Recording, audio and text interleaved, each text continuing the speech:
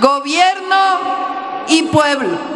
Somos la representación del pueblo de México. Bienvenidos una vez más adultos mayores, madres trabajadoras y personas con discapacidad. El día de hoy te traigo información muy importante que debes de conocer y no podemos ignorar.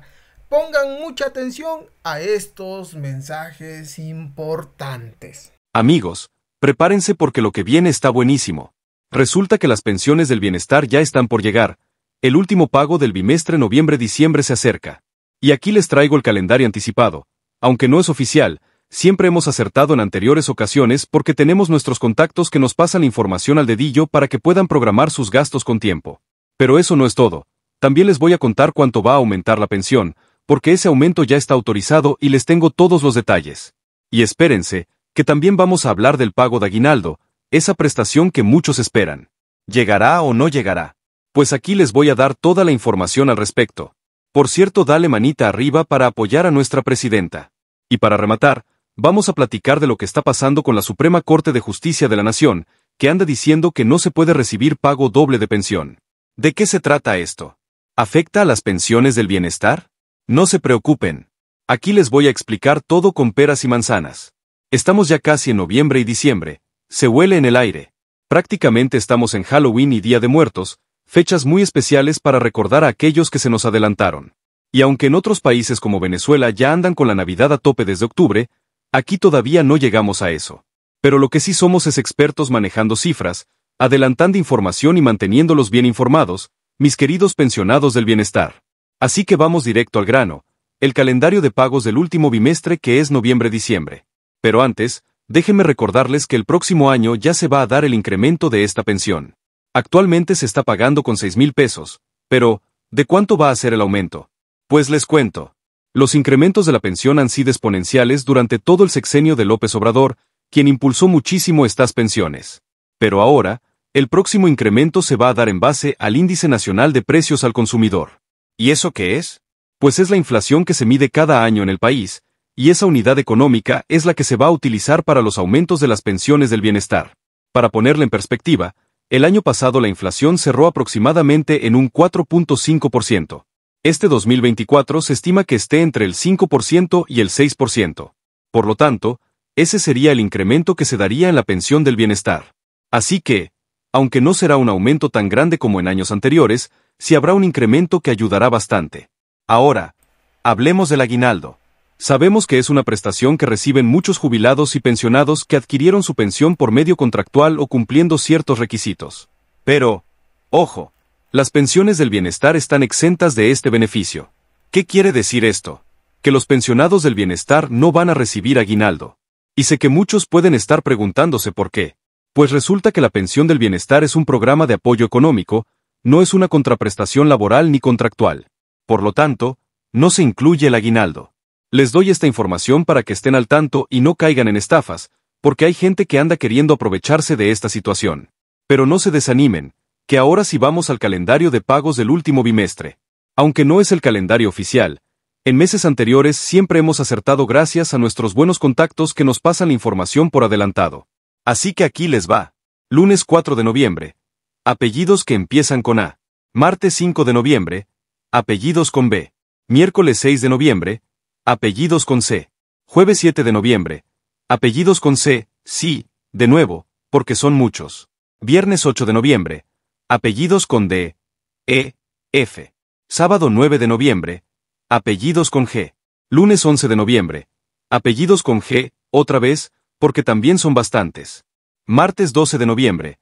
Apellidos con H, I, J, K. Miércoles 13 de noviembre. Apellidos con L. Jueves 14 de noviembre. Apellidos con M. Viernes 15 de noviembre. Apellidos con M, de nuevo. Sábado 16 de noviembre. Apellidos con N, Ñ, O, P, Q. Martes 19 de noviembre. Apellidos con R. Miércoles 20 de noviembre. Apellidos con S. Jueves 21 de noviembre. Apellidos con T, U, V. Viernes 22 de noviembre. Apellidos con W, X, Y, Z. Ahí lo tienen. Ahora pueden programar sus gastos y estar listos para cuando llegue su pago. Pero esperen, que aquí viene lo interesante. ¿Se acuerdan del Buen Fin? Ese evento donde hay descuentos y promociones por todos lados. Pues se está manejando que posiblemente haya un adelanto del pago de las pensiones del bienestar con motivo del Buen Fin. Esto para que los pensionados puedan aprovechar las ofertas y reactivar la economía. El Buen Fin está programado entre el 14 y el 17 de noviembre, y aunque no es oficial que se adelante el pago, se está platicando muy seriamente. Así que estén atentos, porque en cuanto tengamos la información oficial, se las vamos a hacer llegar de inmediato. Imagínense poder aprovechar esos descuentos con su pensión ya en mano. Ahora, haciendo un resumen rápido. El próximo año, el incremento de la pensión será en base al índice nacional de precios al consumidor, es decir, alrededor del 5% o 6%. No habrá pago de aguinaldo para los pensionados del bienestar. Posiblemente haya un adelanto de pago por el buen fin. Pero no nos vamos sin antes tocar un tema que ha generado mucha inquietud. La Suprema Corte de Justicia de la Nación anda diciendo que no se puede recibir pago doble de pensión. ¿A quién afecta esto? ¿Tiene que ver con las pensiones del bienestar? Pues aquí les aclaro todo. Este criterio jurisprudencial afecta a los jubilados del Instituto Mexicano del Seguro Social, IMSS. Específicamente, declara incompatibles las pensiones por vejez y jubilación. Es decir, no se pueden recibir ambas al mismo tiempo. Pero y ojo, esto no tiene nada que ver con las pensiones del bienestar. Así que, mis queridos pensionados del bienestar, pueden estar tranquilos, su pensión no se ve afectada por esta decisión. Además, esta medida solo afecta a las personas que inicien un proceso reclamando el pago doble de pensión, siempre y cuando el instituto lo haya negado. No es que les vayan a quitar la pensión a quienes ya la reciben. Así que no caigan en alarmismos ni se preocupen de más. Y bueno, con esto finalizamos nuestro video de hoy. Recuerden, estar informados es una de las mejores herramientas que pueden tener actualmente. Si les gustó la información y les fue útil, no olviden compartirla con sus amigos y familiares para que todos estén al tanto. Antes de despedirme, quiero reiterarles lo importante que es no caer en estafas. Si alguien les ofrece tramitarles el aguinaldo de su pensión del bienestar o les pide dinero para gestionar algún beneficio, no les hagan caso. Siempre consulten información oficial o con fuentes confiables. También es buen momento para planificar sus gastos de fin de año. Con el pago del último bimestre y el posible adelanto por el buen fin, pueden aprovechar para comprar regalos, hacer alguna mejora en casa o simplemente ahorrar un poco para cualquier imprevisto. Y si tienen dudas sobre el incremento de la pensión para el próximo año, recuerden que será aproximadamente del 5% al 6%, dependiendo de la inflación.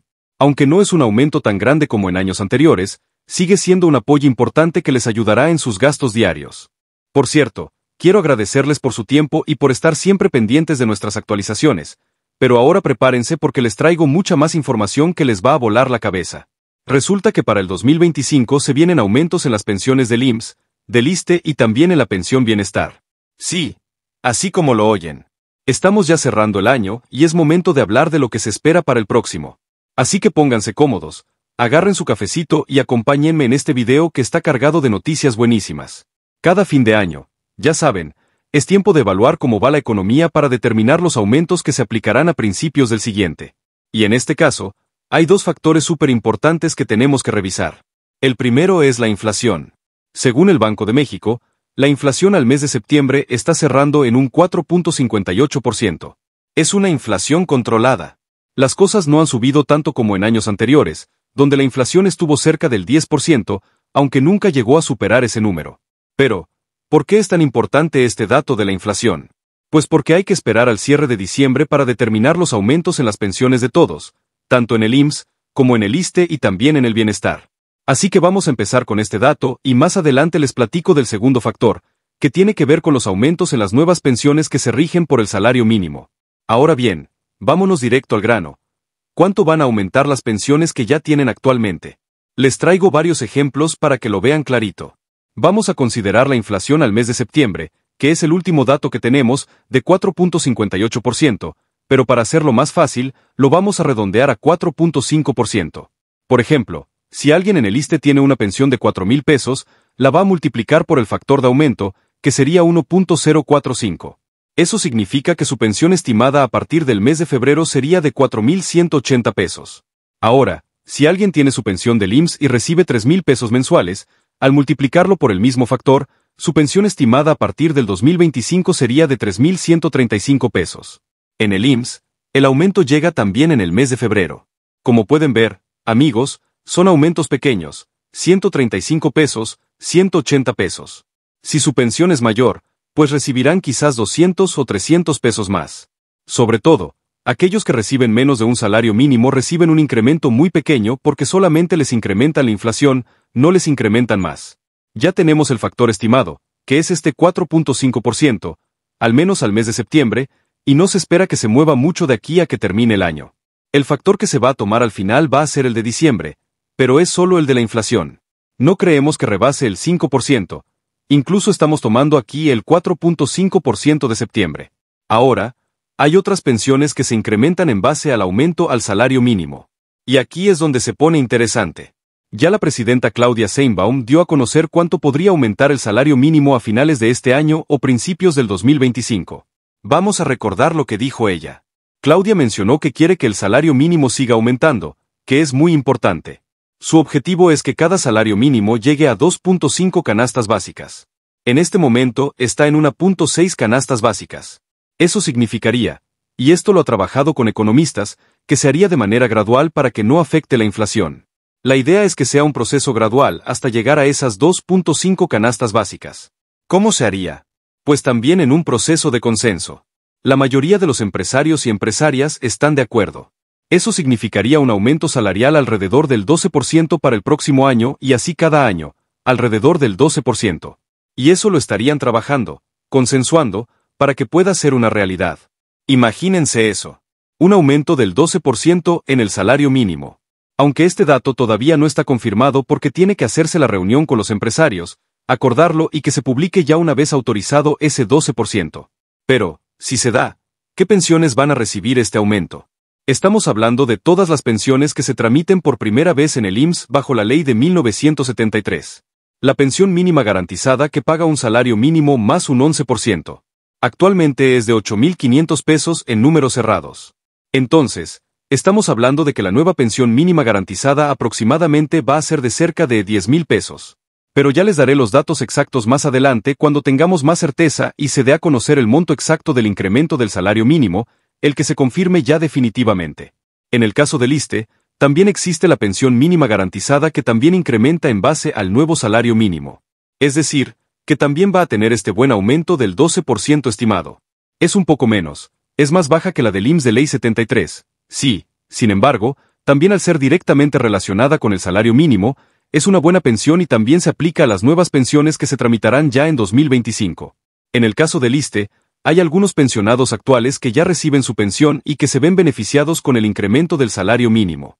Pero ya eso lo conocen todos ustedes, cada año su pensión aumenta en base a la inflación o en base al salario mínimo. Por eso es importante que tengan la referencia de cuál es el porcentaje de incremento, ya sea de una u otra forma, para que hagan sus cálculos y cualquier cosa reclamen ahí directo en la institución. Y ahora, ustedes se preguntarán, ¿qué va a pasar con la pensión bienestar? Tanto de nuestros queridos adultos mayores, como de nuestras maravillosas personas con discapacidad, y también el apoyo a las bellas mamás trabajadoras. Pues esperamos que, como es cada año, haya un aumento. Aunque no tenemos certeza de cuál pudiera ser el incremento. Recuerden que con el presidente Andrés Manuel López Obrador, desde el 2021, la pensión bienestar creció un 25% cada año. La pensión de adulto mayor, con él, siempre tuvo esos incrementos significativos. Pero ahora, con la llegada de la presidenta Claudia Seinbaum, como la pensión bienestar es fuerte, es un buen monto el que se entrega, y además entrega a más de 12 millones de adultos mayores, tampoco creo que vaya a ser un gran aumento como lo era en tiempos del presidente López Obrador. Vamos a esperar si es al menos el porcentaje de inflación, sería lo menos que podríamos esperar. Y si es así, pues esta pensión podría estar aumentando unos 250 pesos o unos 300 pesos. Pero no me quiero comprometer. Vamos a esperar que avancen los días y a ver qué información nos da a conocer la presidenta o la secretaria Ariadna Montiel también, por supuesto. Lo que sí es muy importante es que les hagan un aumento a nuestras queridas personas con discapacidad. Porque esa pensión sí está muy pequeña y todos ellos necesitan este gran apoyo. Ojalá ahí si la presidenta Claudia Seinbaum ponga atención y pueda subirles un poquito más para aumentar esas pensiones porque además, solamente se entregan a un millón y medio de personas con discapacidad. Aunque va a haber nuevas inscripciones ahora en Yucatán y también en Tabasco, pero no son tantas, no son tantas como lo es la pensión de adulto mayor. Y el otro punto es el apoyo a las mujeres que reciben para sus pequeños de 0 a 3 años, o de 0 a 5 años con alguna discapacidad, apoyo de guardería. Estos aumentos no han llegado en más de dos años. Entonces sí es importante también que haya un pequeño ajuste a estas bellas mamás trabajadoras. Así que, amigos, ya con esto vamos a cerrar este video. Les mando muchos besos, abrazos y mil bendiciones. Esperamos que esta información les sea de mucha utilidad y que estén al pendiente de las noticias que vayan saliendo. Recuerden que es importante estar informados para saber cómo nos va a ir el próximo año y poder planificar mejor. No olviden compartir este video con sus amigos y familiares para que todos estén enterados de estos posibles aumentos en las pensiones. Y ahora escuchemos el mensaje de nuestra presidenta Claudia. Como saben, nosotros cuando llegamos al gobierno no nos olvidamos del pueblo. Nosotros seguimos cerca del pueblo porque a nosotros nos eligió el pueblo de México y nunca va a haber divorcio con el pueblo de México. Siempre vamos a estar cerca de ustedes. Somos uno solo. Excelente mensaje de la presidenta Claudia Sheinbaum y que merece ser escuchado completito. Gobierno y pueblo somos la representación del pueblo de México. Por eso cada vez que visitemos Baja California y todas las entidades de la República, a dar información de a qué venimos, por qué venimos, qué vamos a hacer y cómo vamos. Esa es la manera que se gobierna con la cuarta transformación de la vida pública de México. Porque el tema de la transparencia es muy importante. Una situación que los gobernadores anteriores ignoraban o no querían informar al pueblo de México sobre sus actos de manera pública porque de esa forma ellos podían robarle al pueblo de México. Se acabó, señores.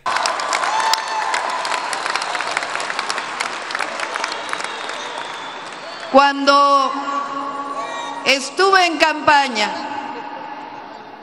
comenté entonces que se trataba de dar continuidad a la cuarta transformación y también que ya era tiempo de mujeres en nuestro país.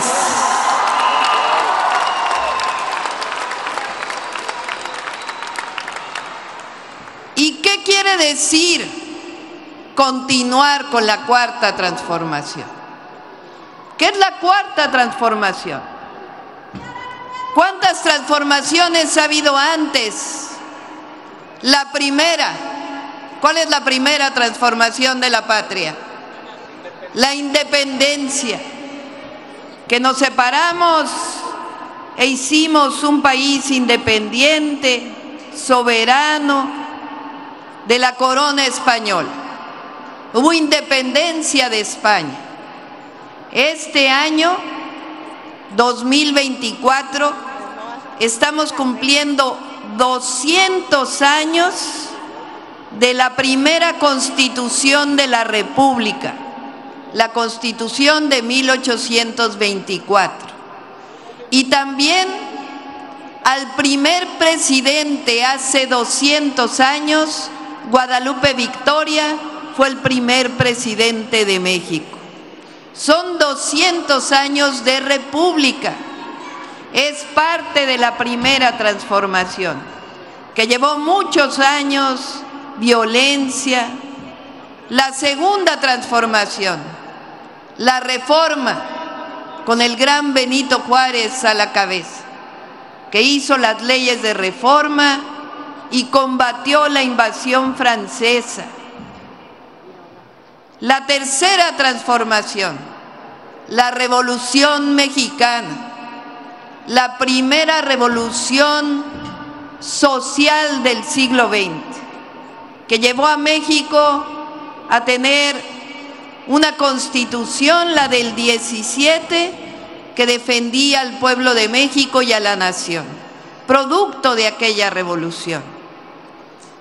Después vino un periodo oscuro en la historia de México, lo que llamamos el periodo neoliberal de 1982 al año 2018, que despojó al pueblo de sus patrimonios, porque privatizaron las empresas de la nación, recursos de la nación, generaron pobreza, desigualdad, gobiernos que solo miraban a unos cuantos, a los de arriba, y prácticamente el gobierno estuvo al servicio de esa minoría. Pero en 2018 el pueblo de México dijo basta y empezó la cuarta transformación de manera pacífica por la vía electoral con el mejor presidente de México, Andrés Manuel López Obrador.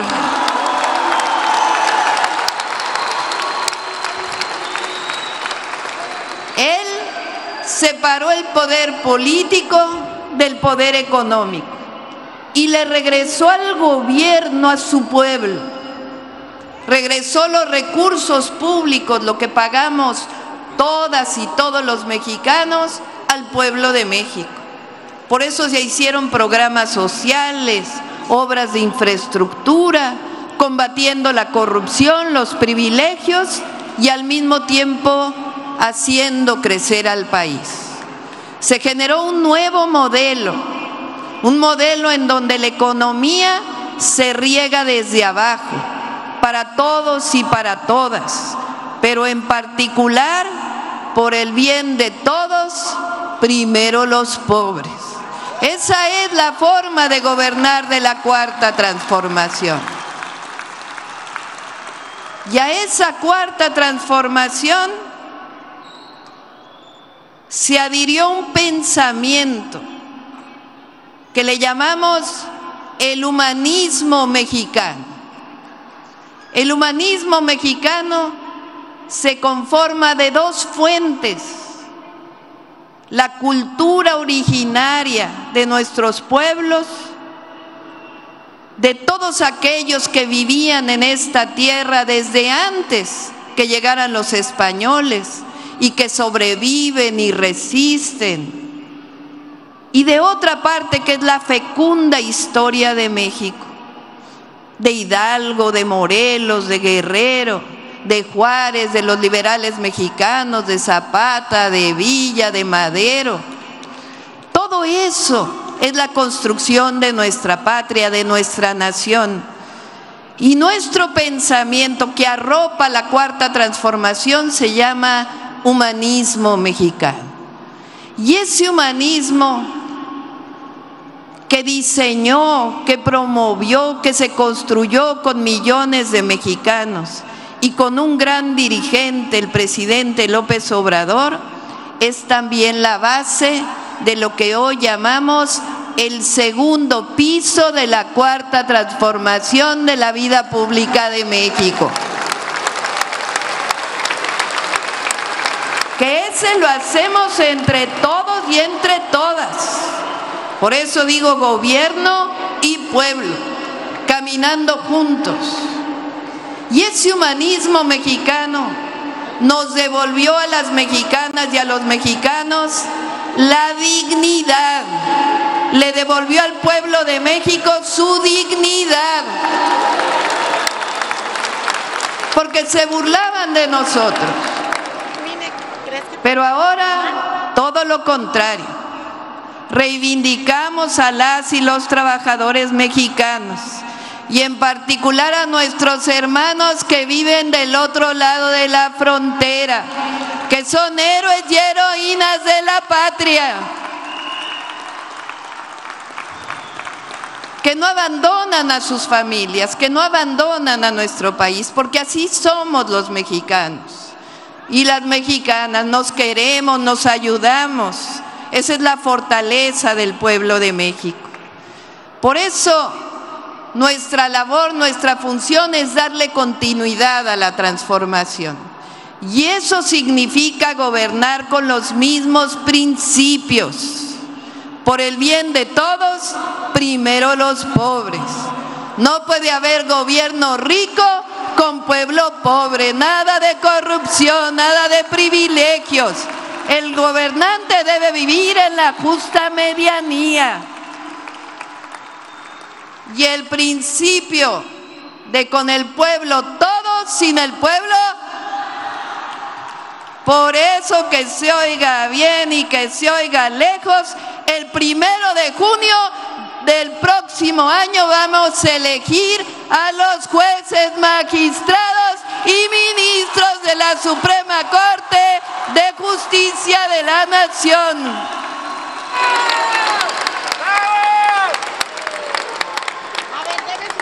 Porque ahora dicen que somos autoritarios, que no somos demócratas. Si democracia quiere decir un gobierno del pueblo, por el pueblo y para el pueblo. Si democracia quiere decir gobierno del pueblo, ¿cómo vamos a ser autoritarios si lo que queremos es que al Poder Judicial lo elige el pueblo de México y que se acabe la corrupción de una vez por todas?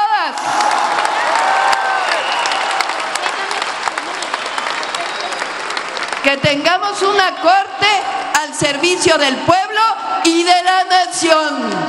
Eso es lo que quieren las mexicanas y los mexicanos. Ese es el mandato del pueblo. Y la presidenta de la República está para cumplir el mandato del pueblo y para servir al pueblo de México.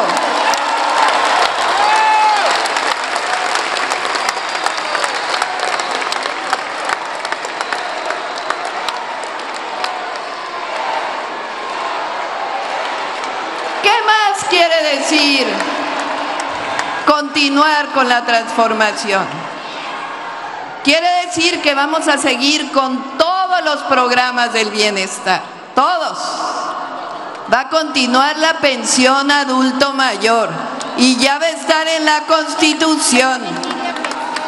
Gracias a nuestros senadores, a Julieta, Armando que están aquí, a nuestros diputados, nuestras diputadas que también son servidores de la nación y del pueblo.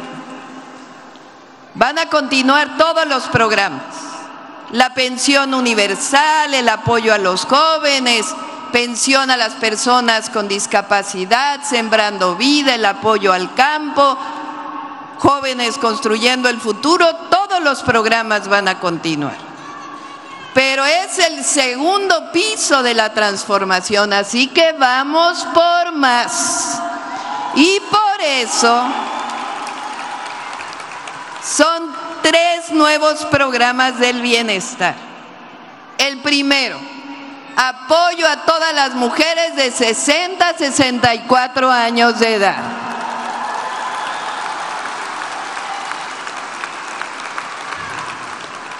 ¿Y por qué a las mujeres? Porque ya veo aquí algunos varones que dicen, bueno, ¿y por qué nosotros no? Bueno, a ver, me van a decir, no debería ser así, ¿eh? Pero ¿quiénes somos las que principalmente cuidamos de los hijos? ¿Quiénes somos las que principalmente cuidamos del hogar. ¿Quiénes somos las que cuidamos hasta los maridos? ¿Y quién reconoce ese trabajo? Pues como hay una mujer presidenta, por primera vez vamos a reconocer el trabajo de las mujeres mexicanas.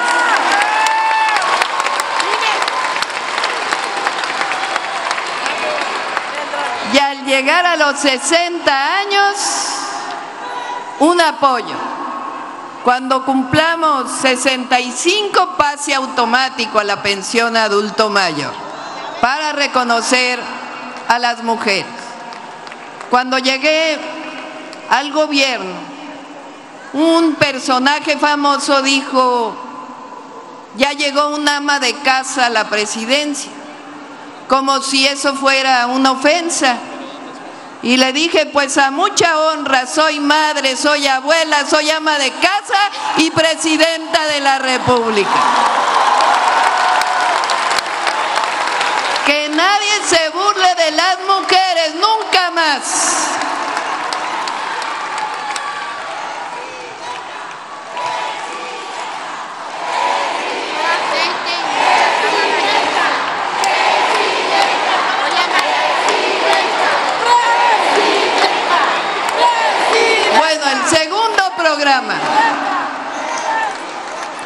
Vamos a becar a las niñas y niños que vayan a escuela pública. Todos y todas van a tener su beca. En 2025 empezamos con los adolescentes de secundaria. Ya Mario Delgado, que es el secretario de Educación, está haciendo asambleas en todas las secundarias. Ya no presenté, pero sí conocen a Ariadna Montiel, ¿verdad? Que es la secretaria de Bienestar. Ella está encargada de todos los programas de bienestar. Bueno, Mario está haciendo asambleas con todo su equipo en las escuelas secundarias públicas.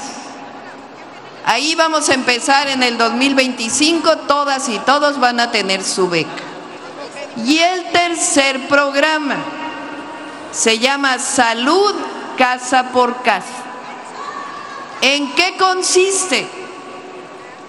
Están haciendo nuestros compañeros servidores de la nación y servidoras de la nación que hay que darles un aplauso muy grande porque son compañeros y compañeras de primera, trabajadores, trabajadoras, de mucha convicción.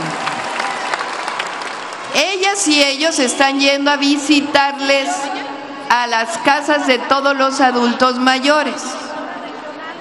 Les van a hacer un cuestionario que diseñó la Secretaría de Salud. Alejandro Schwartz es el director del IMSS Bienestar. Él participó en este proceso. Bueno, el cuestionario es para saber su estado de salud, que ustedes les platiquen, si tienen algún problema, alguna enfermedad. Este mismo mes estamos contratando enfermeras, enfermeros, médicas, médicos, para que a partir del mes de febrero más o menos, estas médicas, médicos, enfermeros vayan a las casas de los adultos mayores a medirles la presión, escuchar su corazón, a ver su estado de salud. Ese es un programa permanente a todas y todos los adultos mayores siempre van a tener un médico que los vaya a visitar a su casa. Ustedes ya van a saber quién es, van a tener su teléfono para que le puedan llamar. Ellos pueden incluso recetar. Y a mediados del próximo año, junto a los bancos de bienestar, vamos a ir construyendo poco a poco farmacias del bienestar para que puedan ir ahí a recoger sus medicamentos gratuitos.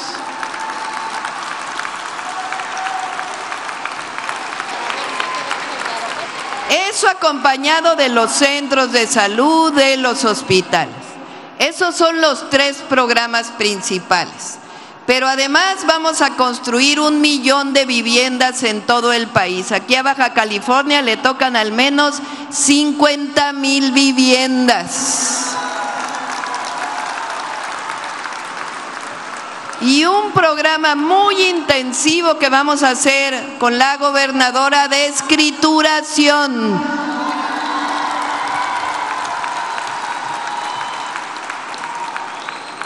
Y de aquí nos vamos a una reunión con el gabinete de la gobernadora para definir los programas estratégicos en estos años.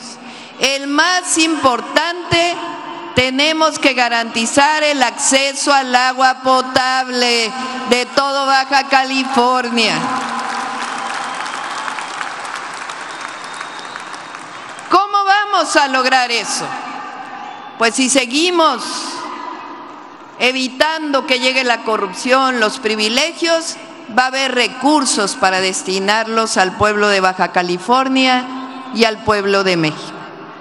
Yo vengo aquí con ustedes, como siempre, a comprometerme. Ya saben cómo gobernamos. Primero, con compromiso, con cercanía, con honestidad, con honradez. Y cuando hacemos eso, hay resultados.